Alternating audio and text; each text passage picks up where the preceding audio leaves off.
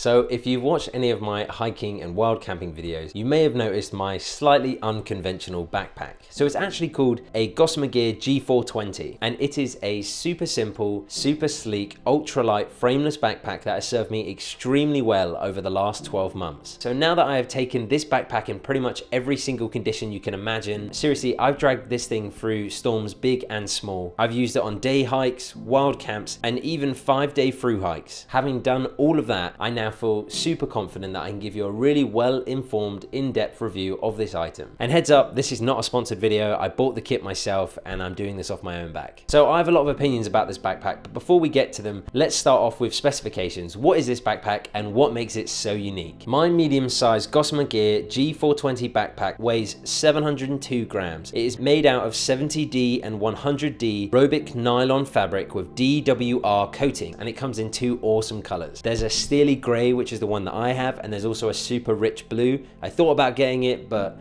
kind of chickened out at the last moment. Both of these colors are so awesome in my opinion. This is an ultralight bag, which means everything has been designed with weight in mind. This means that some typical features that you'd find in an everyday backpack are sometimes lacking. But let me assure you, this does not mean that the design is bad. It actually means the exact opposite. Gossamer Gear have boiled this backpack down to the absolute essential. They have only left you with features that you will actually use. So the bag itself is sealed up by a roll top that can quickly seal your bag away from the elements. If you overpack your bag like I often do, there is also thankfully a strap that can be clamped down over the top of the roll top, which will help you secure those additional items. Near the top of the bag, there is also two small ports for hydration systems. I personally haven't used them yet, but if you are a fan of CamelBaks, I think this feature is made for you. There is also a tiny zip pocket at the top of the bag. This is perfect for phones, for wallets, for keys, things you just don't want to get lost. This zip is really well made, it's never come undone accidentally on me, and it is also very water resistant, very much waterproof. Speaking of pockets, let's talk about these brilliantly sized side pockets. God, that's a lot of S's.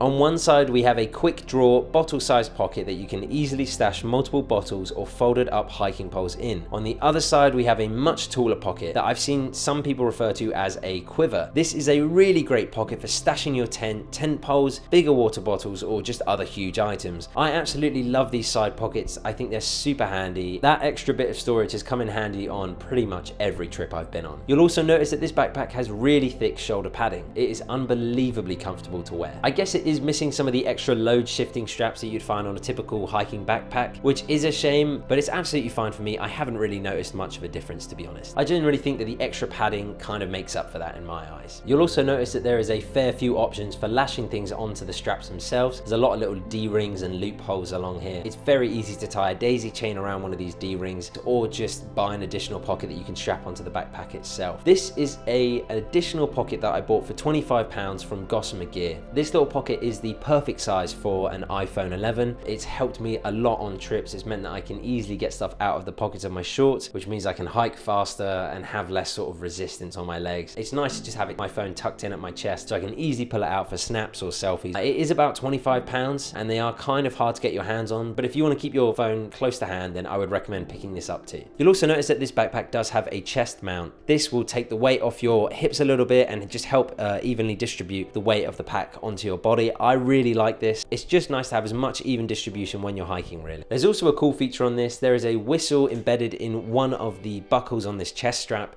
which means if you run into trouble, you can easily, you know, blow on that, get some people's attention, and hopefully it will help you out in your time of need. Moving on to the waist belt, it is extremely comfortable to wear. On the website, it says it's 1.5 inches thick. This waist belt has been designed for absolute maximum comfort. So now let's talk about my favorite part about this backpack. It's related to the hip belt. Let's talk about the hip belt pockets. These two pockets are absolutely ideal for snacks. You can put in about six chocolate bars across these two packs and have room for some sun cream and your keys and your phone in there. They are huge and they are so easy to use. It's so nice just to be able to quickly reach snacks, quickly reach chocolate bars, or whatever kind of snacks you're out there with you. Mine are normally those brunch bars you get from Tesco's. Genuinely, that feature of this backpack is one of the reasons why I've stuck with this backpack for the last 12 months. The way they've designed it, it's so easy to use, so handy. While you're hiking out there in the wilderness, it just is a small feature that just gets your quality of life so much higher. So yeah, love that feature, absolutely excellent. Also for you winter adventurers adventurers and mountain climbers, there is a ice hooking strap at the bottom of this bag. I used this when I was climbing Mont Blanc and it worked really well for me. You hook your ice axe into the bottom of this hook. It's a really good addition and yeah, my ice axe stayed strong all the way through the trip. Finally, let's talk about the two main compartments of this backpack. Let's start off with the stuff sack. This is an easy access mesh material pocket that is ideal for quickly storing items you no longer need. I often keep waterproof and down jackets in this pocket so I can quickly put on or shed layers while I'm out hiking. It is just an absolutely brilliant addition. And finally, let's talk about the main storage compartment because I get a feeling that this will pretty much divide the room at this point. To be honest, there's not a ton to be said. This is a super sleek, ultra light, minimalistic design, meaning that there is no pockets on the inside of this backpack. It is just a bag that you can shove everything into, which honestly has improved my hiking and my equipment loads because it's meant that I don't pack things I don't need. It's meant that I only bring stuff that is absolutely required. And if I don't use it, I won't bring it next time because it won't fit in the pack and it won't be able to hide in a pocket that I never open in a trip. You know, often on my other bigger backpacks from the past, I put something in a small pocket thinking I'd one day use it. And I've come to realize weeks later that I've taken out of me on every single trip and I've never actually unzipped that small pocket it was hiding in and it's forgotten about, but it's added to my backpack weight for the last, you know, four or five trips. But with this backpack, absolutely nothing can hide from you. You're not gonna forget what's in it. And this kind of single entry, single exit backpack is really handy because it just forces you to be intentional with what you bring. So that was an overview about the specs of this backpack, but now let's talk about my actual opinion of this kit. This backpack is awesome. There's a reason why I've stuck with it for the last 12 months. It is sturdy, it is well made, it looks cool, it's well designed, and most importantly, it's comfortable to wear. 42 liters isn't too big or too small, it's just right, just like Goldilocks. This backpack forces you to stay intentional and reminds you of, you know, the downsides of extra weight, and I absolutely love it. I can always comfortably fit a sleeping bag, my tent, food, water, clothes, and camera gear into this backpack, absolutely no problem, and go off on an adventure for multiple days. I've taken this pack 87 miles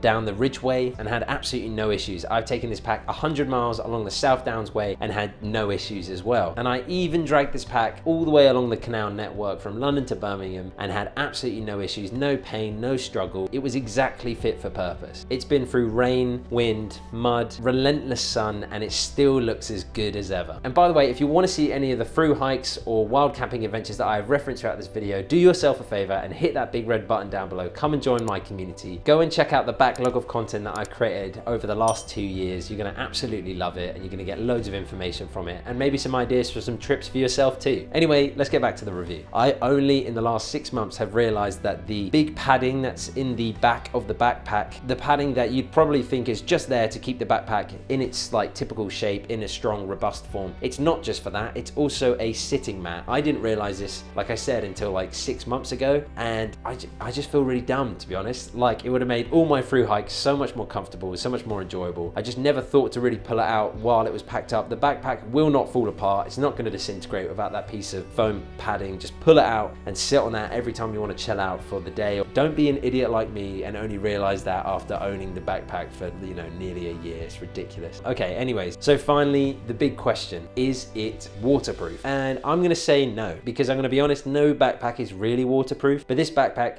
is super water resistant. If you're out on a trek and it's not a storm, if it's just raining like a medium amount, not crazy, and you're only out in it for a couple of hours, then this backpack is gonna be dry. It's gonna resist that water, it's probably gonna be fine. But if you're out in a storm and it's raining like crazy and it's relentless and you cannot get out of that rain after like six or seven hours of being in it, then it's probably gonna get through the backpack. It's not gonna be a lot, but it is gonna get through. Other than storms, for everyday use, this backpack is gonna be perfect, you know. So guys, would I buy it again? Absolutely yes. Yes, I would buy this again. This is an awesome pack. It's well made. I think it looks good. It's really comfortable. It's competitively priced if you compare it to the other ultralight backpacks in this space. And to be honest, it's just a great all-rounder. You know, you can camp, wild camp, day hike in it, through hike in it. It is brilliant. And yeah, it's perfect for, for me. If you've got the money and you're thinking about getting this, then I would recommend that you do. I've had it for the last 12 months. I've used it in so many different situations and it hasn't let me down once. So yeah, thanks a lot for watching. If you did enjoy the video, do me a favor and hit the like button, subscribe if you're new, and drop a comment. Let us know what you think about this backpack down below, and I'll try to answer as many questions as I can. Thanks a lot for watching. I will see you in the next one.